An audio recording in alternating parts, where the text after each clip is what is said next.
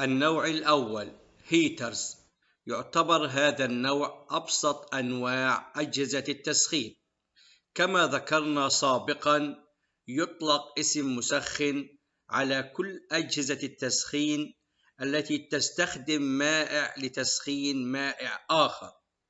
ولكن يكون عادة مصدر التسخين في هذا النوع من المسخنات هو البخار الحار ال steam بينما الجسم المراد تسخينه يكون بشكل سائل.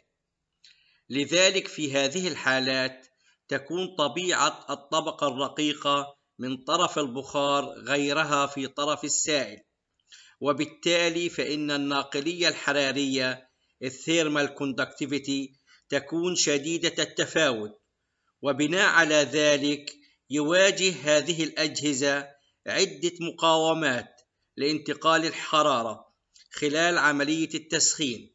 لذلك تكون عملية التسخين بطيئة.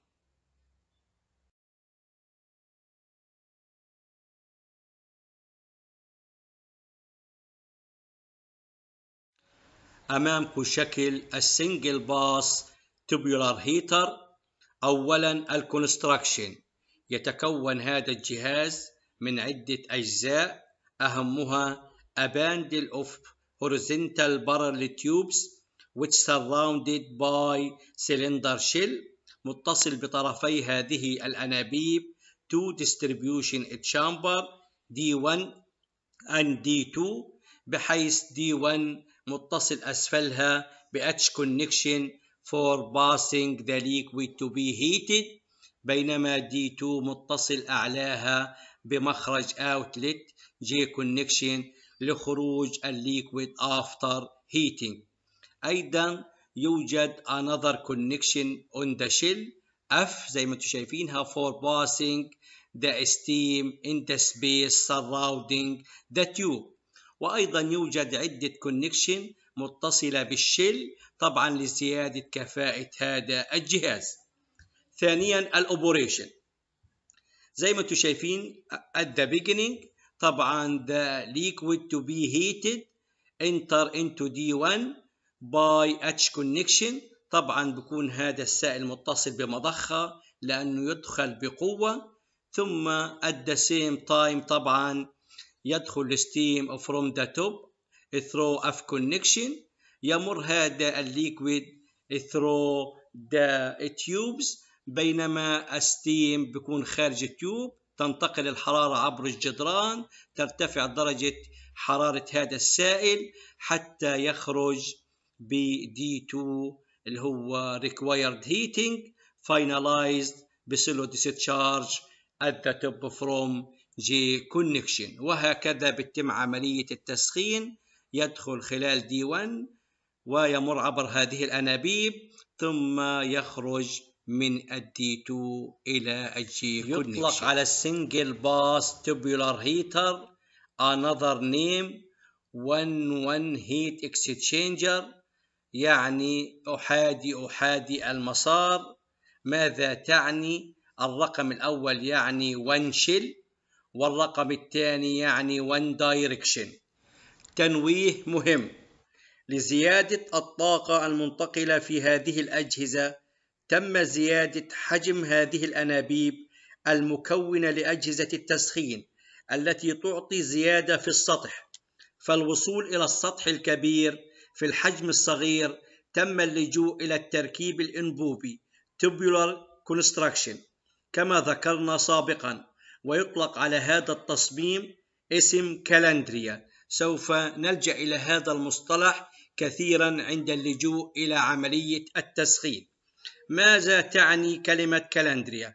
هي تركيب أنبوبي به عدد من الأنابيب طويلة أو قصيرة حسب طول الجهاز المستخدم قد جمعت هذه الأنابيب بين صفيحتين بحيث يكون هناك تجويفان التجويف الداخلي وذلك لمرور السائل المراد تسخينه اثنين التجويف الخارجي وذلك لمرور السائل مصدر التسخين مثل ال steam حيث يتم التسخين بالتبادل عبر الجدار الأنبوبي النوع الثاني من أجهزة التسخين ال heat exchanger إن تعبير كلمة مبادل حراري heat exchanger تطلق على الأجهزة التي تنتقل فيها الحرارة من سائل إلى سائل.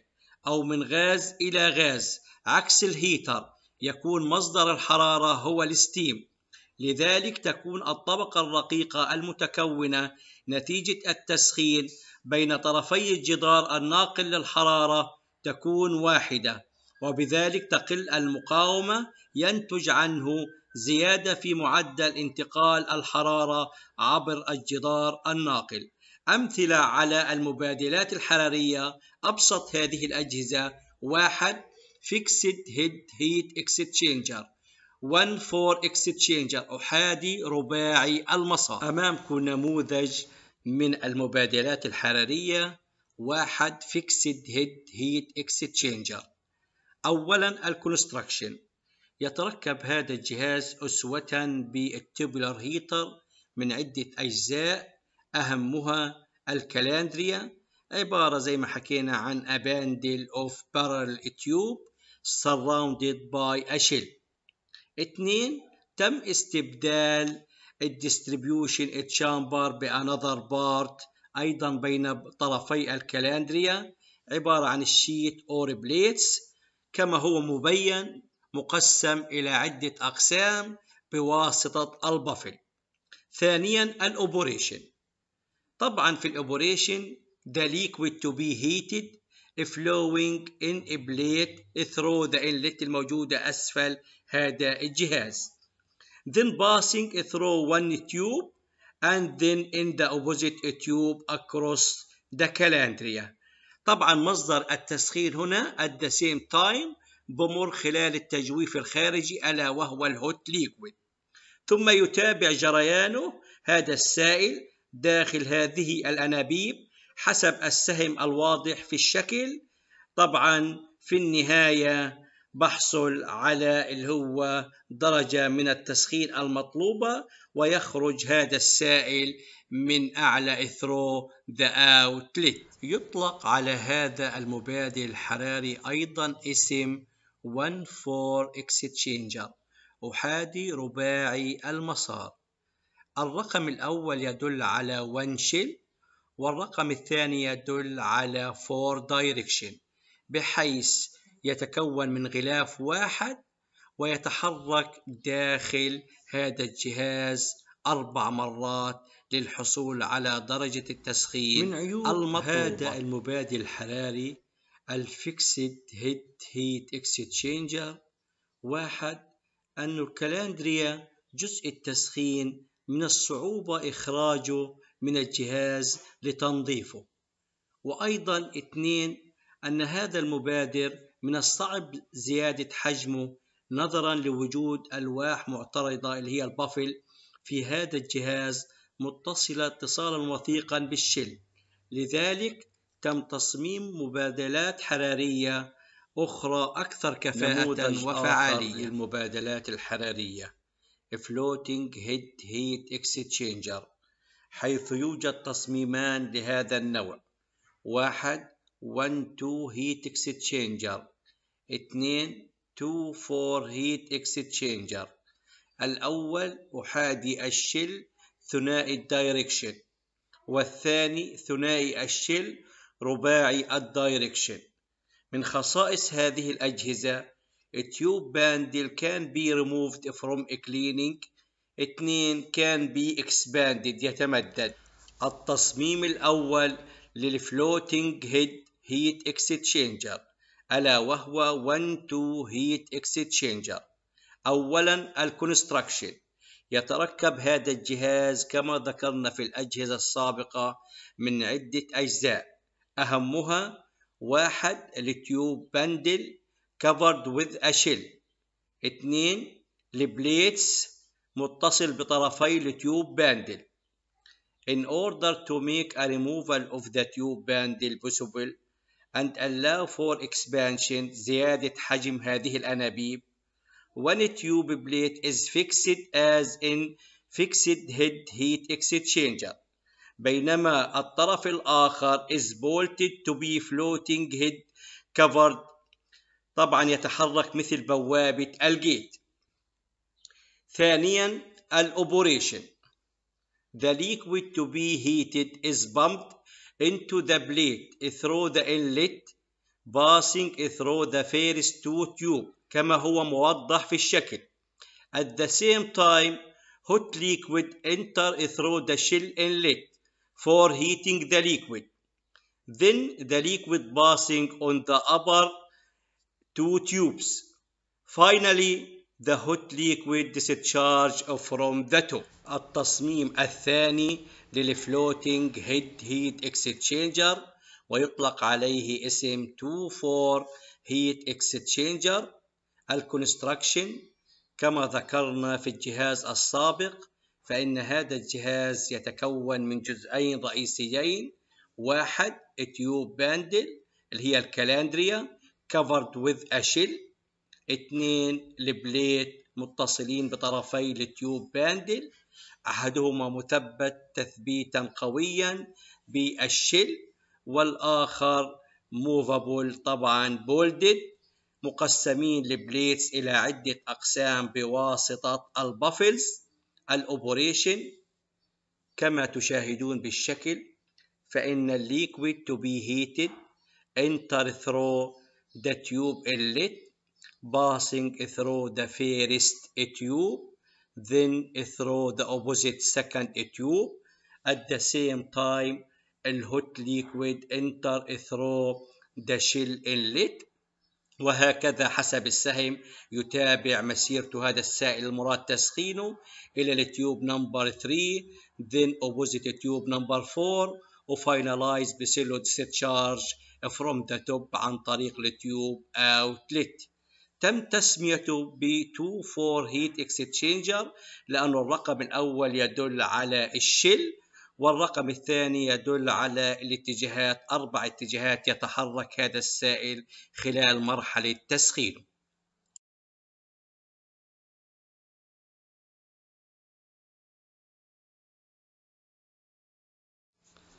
عند تصميم أجهزة التسخين وخصوصا المبادلات الحرارية heat exchangers يجب أن يؤخذ بعين الاعتبار عدة عوامل لزيادة كفاءة وفعالية هذه الأجهزة.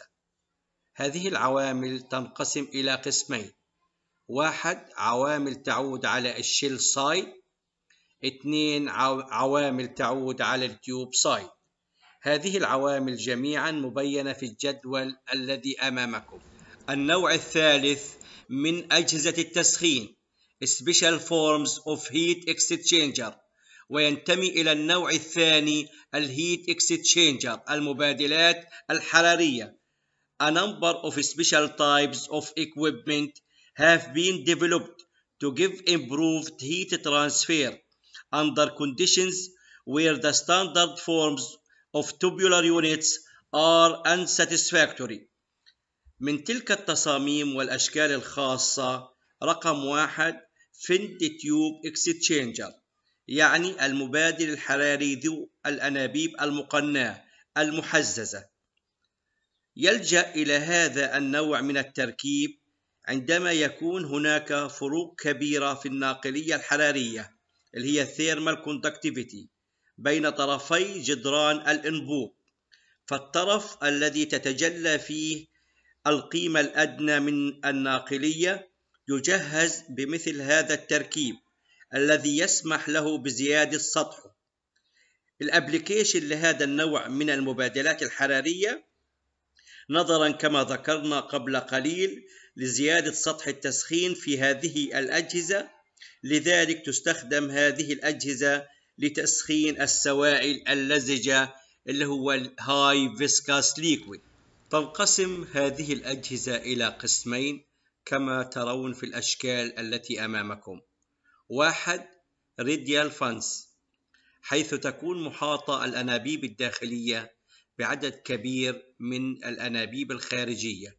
مثال على ذلك اللي هو شبكات الأنابيب المتصلة بالثلاجات من الخلف.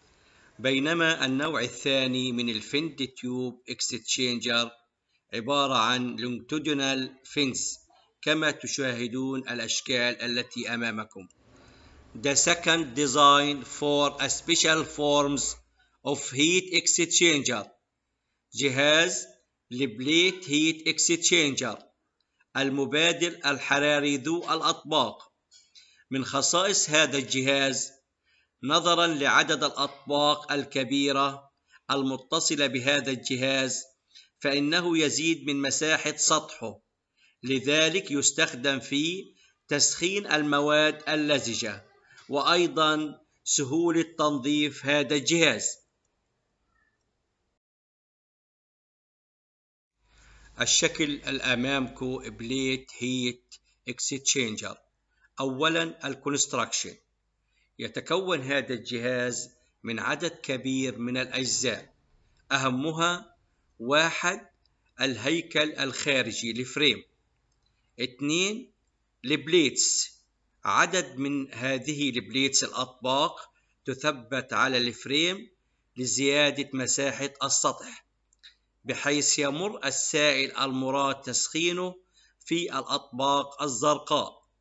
بينما يمر الهوت ليكويد مصدر التسخين في الأطباق الحمراء.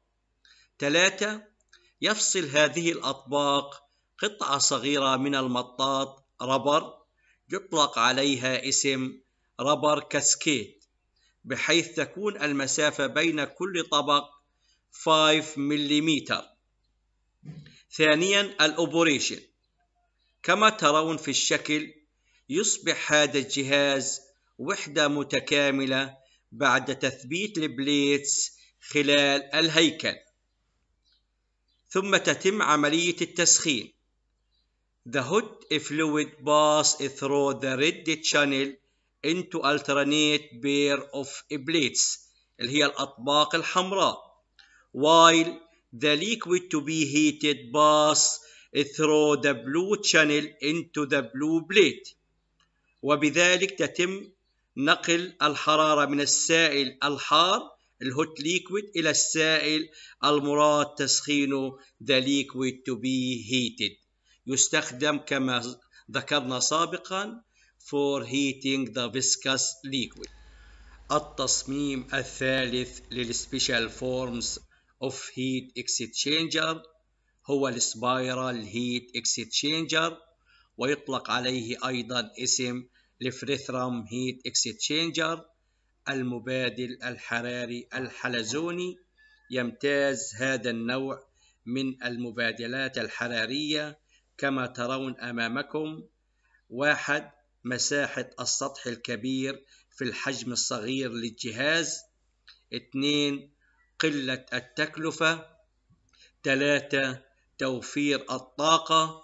أربعة سرعة التسخين الشكل نظرا الذي عامل والأشكال الناقلية الحرارية كبير جدا. heat exchanger ال construction يتكون هذا المبادل الحراري من جزئين رئيسيين. واحد a number of spiral channels بحيث لها جوفان الداخلي لمرور السائل المراد تسخينه اللون الأزرق رقم اثنين والجوف الخارجي يمر به ال hot liquid اللي هو source of heating اللون الأحمر. رقم اثنين الجزء الثاني ال shell الغلاف. محاطة هذه الأنابيب بغلاف لها سطحان سطح علوي وسطح سفلي مزودة ب some connection ال operation طبعا two liquids flow counter currently through the channels formed between the plates بحيث هؤلاء السوائل السائل المراد تسخينه ال high viscous يمر في ال channel رقم 2 وال hot liquid يمر في ال channel رقم واحد وتنتقل الحرارة من ال hot liquid إلى ال liquid to be heated. ونحصل على التسخين المطلوب. وأخيرا أسأل, أسأل الله لكم الصحة والعافية والتوفيق. المحاضرة القادمة إن شاء الله ستكون بعنوان evaporation process ودمتم بعز وسعادة.